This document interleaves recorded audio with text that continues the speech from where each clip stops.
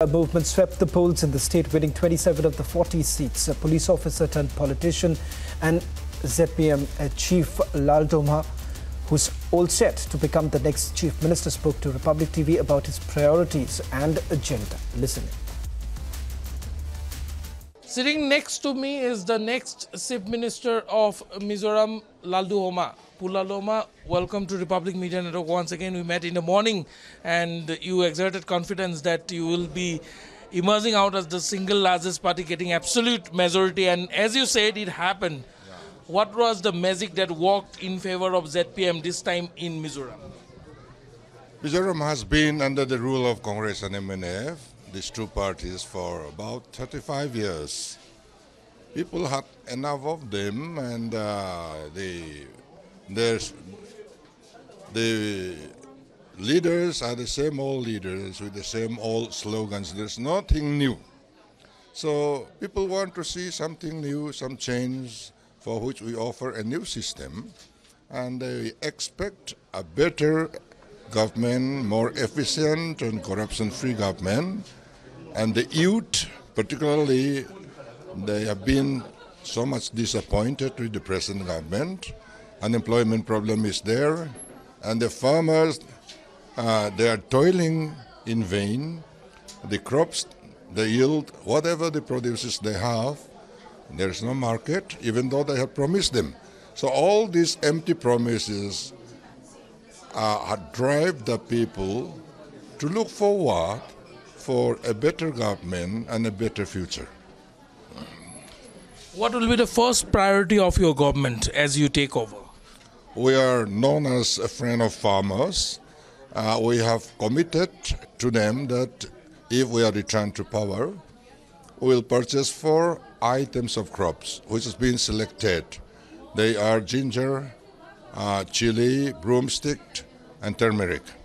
We have fixed the minimum price for this, and uh, yesterday I have checked the financial position with the finance people here, and we believe that we'll be able to buy this produce within this financial year, even though uh, what is left by the outgoing government is only the spillover. Mizoram has been depending upon uh, special ways and means, special drawing facilities, overdrafts, and uh, the RBI had given a warning recently to the government of Mizoram to stop this kind of practice. Uh, in spite of this, all these financial constraints, we are going to honor our commitments and we are going to take the process of buying their produce. Pu Lalduhoma, you have the numbers, sufficient numbers to form the government. You don't need to go in alliance with anyone. Yeah. But given the national context now, there are several camps. The NDA is there, the I.N.D.A alliance is there. So the India alliance and the NDA, whom you will choose? Because uh, round the corner, only few months from now, the Lok Sabha election is also there. Yeah. We are a regional party with a national outlook and will remain to be so. We want to preserve our own identity, our own originality, and our own uh, regionalism. But uh, at the same time, everything will be done uh, with the national outlook. Um, but we wouldn't like to join any political group at the national level, whether it is NDA or UPA or whatsoever it may be. Um, because we don't want to be dictated from Delhi. We want to take final decisions in our own hands here. At the same time, we would like to have a good understanding and relationship with the government of India, who is, uh, whoever is ruling there. Two very contentious issues fo- were focused during these elections, yeah. particularly one, the ethnic violence in neighboring state of yeah Manipur, yeah. and another the refugee crisis uh, because of the military junta rule in yeah. Myanmar. Yeah. You are a former IPS officer, and you are the most right person here to ask what is your take on these two particular crisis. One first, I would like to get your reply on the Manipur issue. You see, as the saying goes, blood is thicker than water. They are our brothers and sisters. We cannot betray them when they are in such a bad situation. It is more of a humanitarian issue rather than a political issue. And um, I don't know what they are going to demand from the central government. Uh, so far as refugees from Manipur is concerned, on humanitarian ground, we have to shelter them, feed them, and give them all kinds of uh, necessary assistance to them. And government of India, I think, has also obligation to take care of its own citizens when they are in such a situation. So we'll talk to the Home Minister, uh, if necessary, with the Prime Minister, and uh, something might have been done. We don't know everything. Uh, we don't know what have been done with the previous government.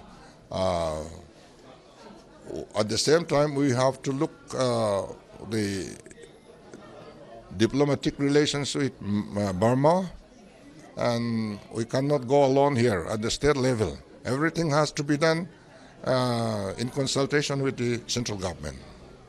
Any specific appeal you would like to make to your uh, counterpart in Manipur? Uh, you are CM designate now, so yeah. any appeal? The first appeal as the chief minister of chief minister designate of Mizoram to the chief minister of Manipur. Well, the, being our neighbor, I'd like to have a very cordial relationship with him, but at the same time, I'm regret. I'm sorry to say that we are very unhappy the way he handled the situation. The whole thing in, in Manipur is a total madness, and the long silence of the prime minister is echoing around the nook and corner of the country, and uh, we we expect a better treatment. Uh, in fact, uh, it's, uh, it's not a fight between the Meiteis and the tribals. It is a fight between the government of Manipur and the tribals. The police officers, the armed police, the hostile group, they are in front. They are deployed in front. So this can happen only with connivance of the state government. Uh, instead of doing that, there should be a conduit in between let the central forces be deployed over there so that uh, from each side there will be no contact whatsoever and any, any kind of trouble also can be prevented that way. And this is not being done so far. My last question, sir, from an IPS officer to CM designate, how do you see this journey so far? In fact, uh, I've been in the road struggling all 39 years. Mm, I enjoyed it, and it is an interesting uh, switchover. Uh, several top policymakers and members of corporate India converge at Republic's uh, 30th India Economic Summit at the National Capital. Republic is all set to bring to you its day-long event tomorrow on the 5th of December, starting at 8.45 in the morning. Don't miss out on the action as government representatives and industry leaders discuss India's growth story at the India Economic Summit, sustaining the dream run.